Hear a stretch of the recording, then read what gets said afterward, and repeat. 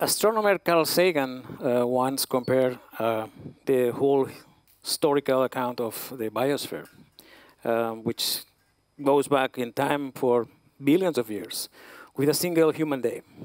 The idea was to try to put ourselves in a context that we can actually imagine. And what he said is that you see all this biosphere that's been emerging, appeared at some point in the middle of the year, and just at the end of that year, in the last second, we emerge as a species. So we're just newcomers. And over the last 10,000 years, uh, we have been enjoying an amazingly stable climate. It's called the Holocene, after the last big glaciation event. So the, this, um, this uh, long time uh, window of nice weather, not too hot, not too um, cold, with seasons that we start to forget nowadays. Um, we see the emergence of uh, a civilization that has been so successful because the nice climate allowed us to build agriculture, large cities, technology, and everything has been okay until the last 200 years, where this newcomer species has been uh, modifying the, the, the, climate by means of using fossil fuels in a scale that has led into unprecedented changes. Um, this can be summarized quite well by the famous uh, hockey, hockey stick diagram. In this diagram, what we show is what we have been able to infer about average temperatures over the last thousand years. And as you, as you can see here, if you look at both at estimated carbon dioxide levels, average temperatures, everything has been quite fine, quite good for us. But from the Industrial Revolution, things have become going in the, the wrong direction. Um, and the problem, as you can see here very well, is that uh, CO2 increase, uh, higher temperatures. This is accelerating at a unique way is unprecedented. And when I'm saying unprecedented is that you check the fossil record of life, and you see that there has been uh, periods of time where temperatures were high, right, remarkably high, but nothing like this, right? This is accelerating very quickly. And climate scientists have been predicting this for a very long time, right? What we are seeing these days, these uh, enormous floods, mega fires, that was predicted more than 30 years ago. So um, this is a serious situation because also everything points into the direction that there are feedbacks that are connected one with the other. Large mega fires means that you inject enormous amounts of CO2 into the atmosphere. Um, you get into a situation where the forest is gone. You need maybe 50 years or 100 years to recover, right? Whereas the, the new CO2 is there. So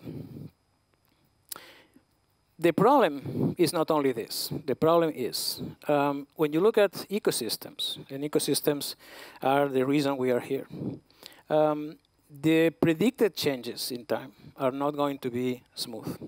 That's a considerably different picture from our intuition. Our intuition says, okay, things are going bad.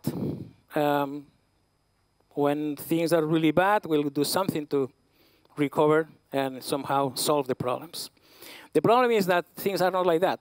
Uh, and for example, we know from evidence and from a lot of modeling that, for example, uh, the case study I want to bring today, drylands, which is 40% of ecosystems on our planet. Don't think in deserts. Think in places where you have vegetation, right?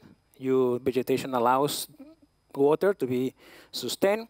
And more than a third of the human population lives in drylands. Okay? And evidence points into the direction that as you increase temperature, as you increase degradation of soils, as you stress more and more, the response is not going to be smooth. It's not like a continuum decline. is going to be sharp and catastrophic. So that changes a lot our, our perception of risk, right? Risk is not something we can take um, um, in a way, like in a linear way right? It's not a linear thing. So, so far, uh, everything is negative, okay? So it can be done. Uh, of course, uh, let me say that I, am not going to propose that just a technological fix is the key. We, we need to change a lot of things, right? Uh, from the perspective of the way, uh, the way we waste materials, the way we mismanage energy. Um, there's one proposal, which is geoengineering. So um, as a technological fix, there's a lot of people thinking in how do you can fix more CO2, extract CO2 and fix and kind of uh, sequester this uh, gas from the atmosphere. There's a lot of people, there's a lot of ingenuity here, um, but so far, so bad, because it's, it's, really not, the numbers don't, don't go well, right? It's, no, it's, no, it's not at all any kind of thing that suggests that this is a solution for the next decades to solve the problem. It's a lot of uh, ideas there, from fixation of CO2 uh, to building millions of mini satellites with mirrors that will deflect the light of the sun, to gigantic machines that will create steam to change the amount of clouds, right? None of these solutions solves the big problem, which is CO2. These are kind of solutions that won't, won't aim at decreasing the temperature of the planet, right? Nobody knows if it works. So what's the alternative? We proposed in my lab now some years ago uh, an idea that, as you will see in a moment, is controversial, which is the following. Uh, let's not go into geoengineering. Let's go into bioengineering, right? Bioengineering meaning what? Well, we need to build, if we want to go to the geoengineering, we need to build the machines, right? We need to invest money, build the machines. Imagine in a, in a apparently uh, dream world that the machines build themselves, okay? That's the idea. The idea is, imagine that I could use synthetic biology, so genetic engineering, to create microorganisms that are artificial in a sense, that can be used actually to fight some of the problems derived from climate change microorganisms replicate themselves. You don't have to build them, right? They just expand.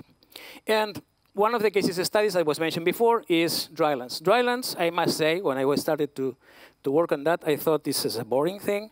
This is not like the, like the rainforest, isn't it? But it turns out that when you look closely, along with the plant cover, few plants, it's patchy vegetation, you have all this soil which is an amazingly complex ecosystem and responsible for CO2 flows, um, is responsible for, for a lot of the stability that we enjoy.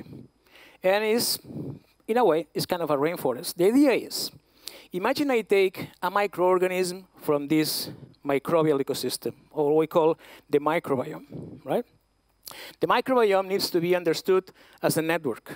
It's a many species, right? It's a whole diverse ecosystem, and biodiversity here is a main point, right? You'll see why. And I can paint one of these ecosystems. Every sphere here is a species. Every link means that there's an interaction. And the idea is, I choose someone from here, a species that is already in the community. Why? Because it has been co-evolving with everyone else, right? And I want to maintain biodiversity, so I want to preserve ecosystem architecture. So this is not standard engineering. It's not like the top-down idea of I'm going to change everything and I know what's happening, right? I know every single thing I have managed to engineer. What I want to do is choose one species, modify it, and one of the candidates is cyanobacteria. Cyanobacteria, actually, if you check in the literature, has been enormously important to change the climate of the planet. So microorganisms are a great candidate. In soil ecosystem in drylands, they play a, an import, very important role. They are what's called ecosystem engineers. They are responsible for controlling flows of matter and energy. The idea is, take one of these species, I modify, doing what? Imagine I put a gene that uh, makes a protein or a polysaccharide, some, some, polymer that goes outside and is able to, to uh, retain a little more moisture. Little more sounds not much, but it's a lot, right? Because these systems amplify a lot everything. So the idea is if I find out in this small scale network of genes, right, there could be a representation, here the spheres are genes, connections are interactions between genes. The dream is I change something in the architecture of these circuits, right? I return, I deploy, the microorganism, and I should observe that things change. This is in part inspired in things that are going on in biomedical research, right? It's not a single experiment isolated from everything else.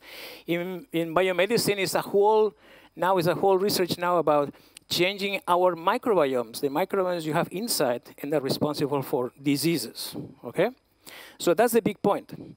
Changing something that is already there that preserves biodiversity, because biodiversity is what guarantees ecosystem health, but put a function there that is new.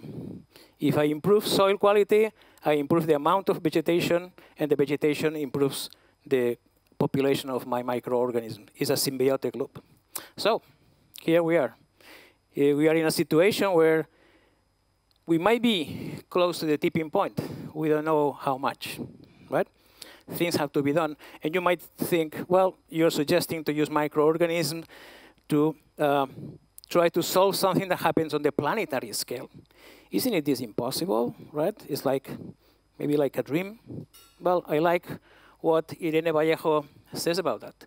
The impossible must be dreamed first to one day make it a reality. Thank you.